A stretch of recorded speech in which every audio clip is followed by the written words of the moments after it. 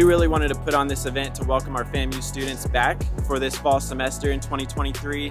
We're excited for the school year. We're excited for the students to be back in town. Um, this store really thrives on the, the student traffic, and so this is a big way for us to be able to serve the community as well as drive awareness for the store. Today we're at Target, and I brought my friends. We decided to just hop on the charter bus and get home here. This is our first year, so we're really excited, and we're kind of probably overdoing it a little bit, but this is the time of our lives, and we know we're going to have a great time here at FAMU. To me, it means everything that Target uh, is supporting my college experience. We've been at Target maybe like five times already, so being able to come with like everyone from the school is really helpful.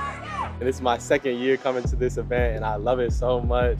They give out gift cards, they got the 20% discount, and it's honestly great seeing other FAMU students getting to meet people around campus. It's been a great experience for me.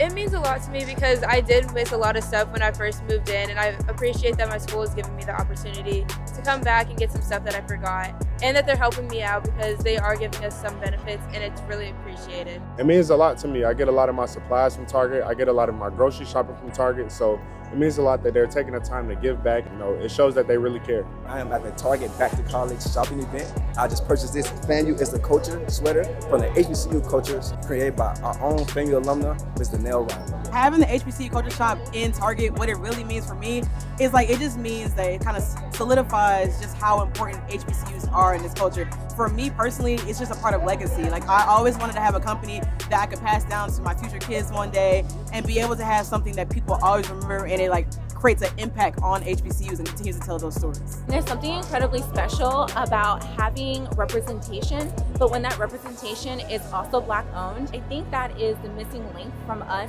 closing that wealth gap. I mean, Target is such a big brand, to think that they're thinking about us here at FAMU is a really big deal to me.